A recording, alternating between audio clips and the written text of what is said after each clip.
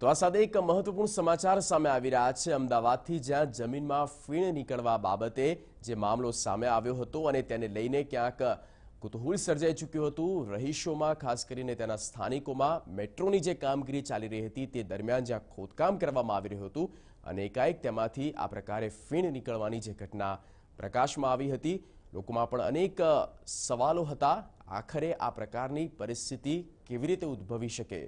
જોકે આ તમામ સવાલોની વચ્ચે કામગીરી અને કાર્યવાહી પણ કરવામાં આવી पुलिस और एएमसी से इन्फॉर्मेशन मिली कि सारंगपुर एरिया में एक मिस्टर शेख हैं उनके घर के ग्राउंड फ्लोर एरिया में से कुछ लिक्विड बाहर निकल रहा है हम लोगों ने अपनी टीम इमीडिएटली वहाँ पर डिप्यूट की और वहाँ पर हम लोग की टनल बोरिंग मशीन उस एरिया के नीचे से पास हो रही थी जब भी टनल बोरिंग मशीन हम लोग चलाते हैं तो सॉइल को सॉफ्टन करने के लिए एक स्पेशल केमिकल फोम जिसमें कि बेंटोनाइट होता है थोड़ा, उसको हम लोग पंप करते हैं, जिससे कि टनल बोरिंग मशीन आसानी से सॉइल को रिमूव कर सके और स्लरी के फॉर्म में उसको एक्सकेवेट करके बाहर निकाल सके। इस एरिया में जब भी टनल बोरिंग मशीन चलती है, उसके पहले हम लोग बिल्डिंग सर्वे करते हैं और लोगों से पूछते हैं कि वहाँ पे कोई बोर या हैंडपंप वगैरह तो नहीं है। क्योंकि अगर कोई भी बोर या हैंडपंप होता है तो उसको पहले ब्लॉक कर देना पड़ता है। अदरवाइज़ उस होल के थ्रू ये लिक्विड बाहर आ सकता है। इस एरिया में कोई भी, जो भी थे, उनको या तो ब्लॉक कर दिया गया, मगर इस पर्टिकुलर घर में ऐसी कोई इंफॉर्मेशन नहीं थी।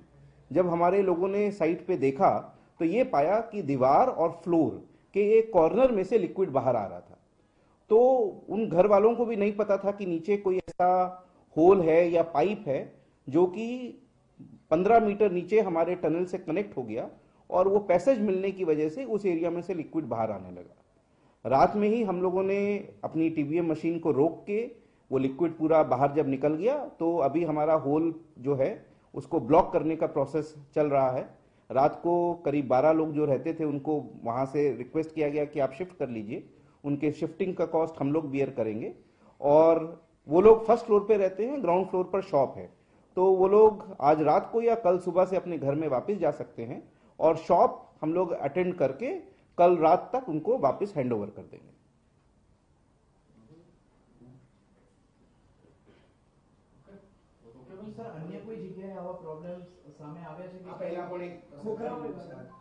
खोखरा में जो हुआ था वो एक सिंक होल था।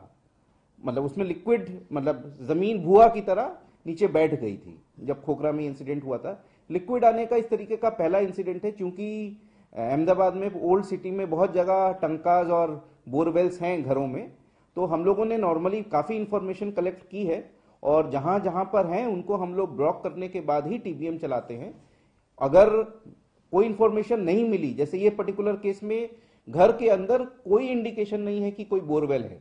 मिस्टर शेख की फैमिली को भी नहीं पता था और फ्लोर और दीवार के बीच में से ये लिक्विड बाहर आ रहा था, जो कि कोई गैप रह गया या नीचे की सॉइल रबल से बनाई हो प्रॉपरली फाउंडेशन नहीं बनाया हो इस वजह से बाहर आया। पर हम लोग एक बार फिर से पूरा प्रिकॉशन लेते हुए काम करेंगे और उम्मीद करते हैं कि ऐसी तकलीफ़ आगे फिर नहीं आएगी। सर लेकिन एप्रोन कंपनी जहाँ काम करती वहीं ऐसा प्रॉब्लम होता है। एल एन टी करती वहाँ ऐसा प्रॉब्लम नहीं होता सर। नहीं अभी एल जिस एरिया में काम कर रही है अभी तक वो रेलवे यार्ड में ही काम कर रही थी। अभी तक एफकॉन ने करीब 800 मीटर करीब टनल बोरिंग की है और उसमें किसी भी रेसिडेंशियल एरिया में से पास नहीं हुआ। इसलिए फ़िलहाल कोई ऐसी दिक्कत नहीं आई है। बाकी शहरों में भी जहाँ जहाँ टनल बोरिंग मशीन काम करती है, एक आध इंसिडेंट ऐसे ज़रूर होते हैं। तो इट इज़ नॉट समथिंग कि एफकॉन कंपनी से ही रिलेटेड ये इशू है। ये कहीं भी आ सकता है डिपेंडिंग अपॉन वहाँ पे इंफॉर्मेशन हमारे पास अवेलेबल है या नहीं है। मगर चूँकि इस एरिया में दो इंसिडेंट हो चुके हैं तो जो बाकी रिमेनिंग पोर्शन है, उसको एक बार फिर हम लोग और अच्छे से दिखवाने के बाद काम शुरू कराएँगे ट्रायल रन में जो पीएम आने वाले वो कंफर्म हो गया अभी तक उसकी कोई कंफर्मेशन नहीं मिली। है